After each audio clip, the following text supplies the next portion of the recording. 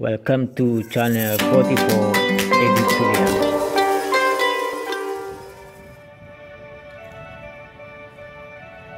Assalamualaikum warahmatullahi wabarakatuh.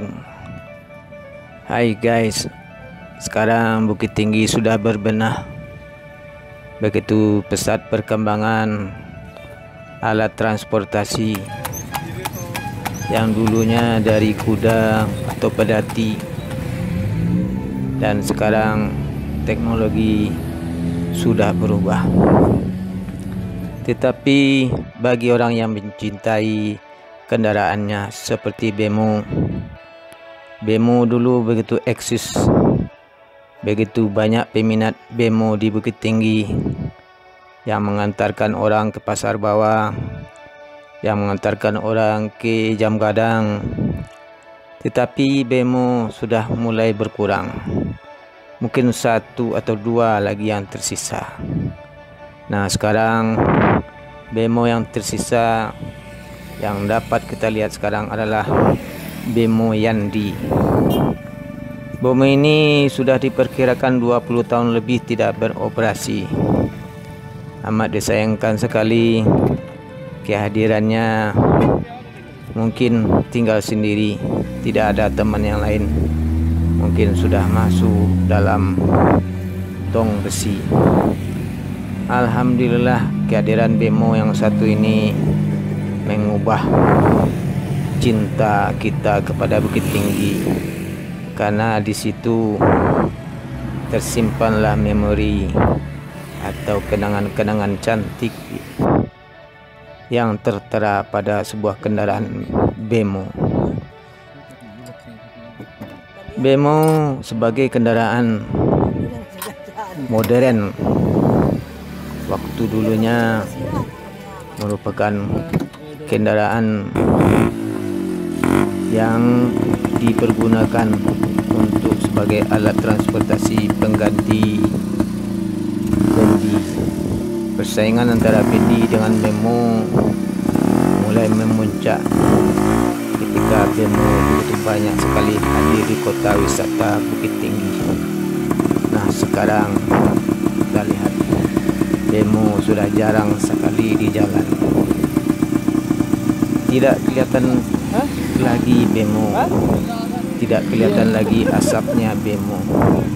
Bentuknya yang unik lampu-lampu yang berhias di kepala bagian depannya serta gigi serta rodanya yang cuma tiga.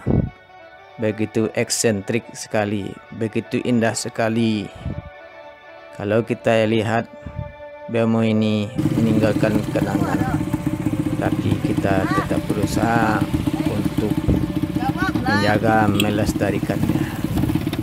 Mudah-mudahan bemo yang tersisa ini dapat dioperasikan dengan baik dan menjadi ikon kendaraan modern pertama sebagai alat pengangkut penumpang Wah, mantap Bemo. antar pasar ataupun te- oh, transportasi di dalam kota.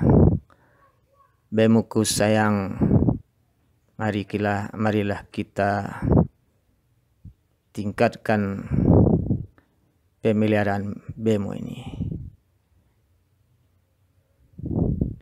Nah, kalau kita perhatikan bemo ini ya masih bisa berjalan dengan minimnya perawatan ataupun jam traiknya atau tidak ada lagi izin traiknya tidak ada lagi kita jadikan bemo sebagai museum bergerak yang harus kita pelihara.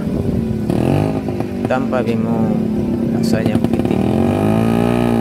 Tidak meninggalkan kesan apa-apa. Tapi bemo hadir di hati masyarakat Bukit Tinggi khususnya ataupun para pendatang pendatang dari luar maka dari itu kita minta kepada pemilik bemo. Tetap tetaplah memelihara.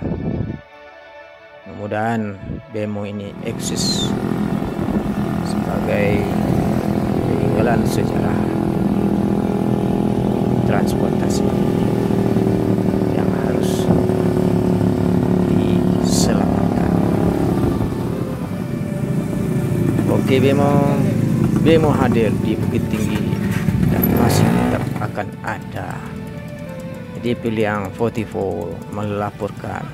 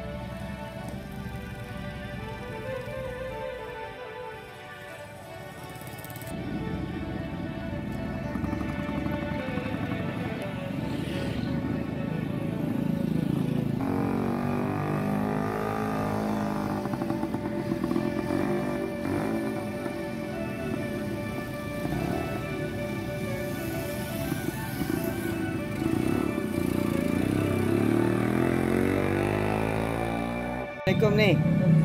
Ah, lah berapa tahun bemo wak tadi tu ni? Berapa puluh tahun umur yang kira-kira?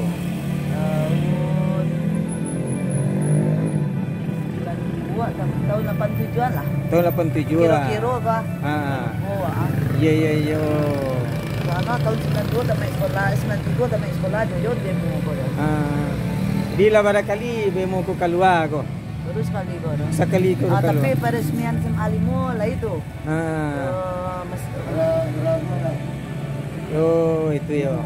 Jadi kini ko yang masalah je bemo tu akhir kira tu ni. akhirnya Akinya dah mulai kanai.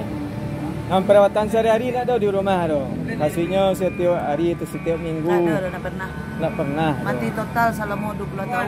20 tahun. Wah. Berarti salah satu mungkin demo yang ada Bukit Tinggi mungkin kecil kau saya tinggalnya ya. Cik kau tinggalan. Walah. Jadi pajaknya lah mati ya pokoknya. Pajak no lah mati tapi no lah plat hitam tu. Oh lah plat hitam. Ada stengka PKB no ke tu. Oh itu tu. Yalah ni makasih banyak ni ya. Mudah-mudahan demo waktu tetap eksis kayaknya jarang ngadu ni ya. Makasih banyak ni ya. Nah, Assalamualaikum. Salam. Wah, mantap Bemo.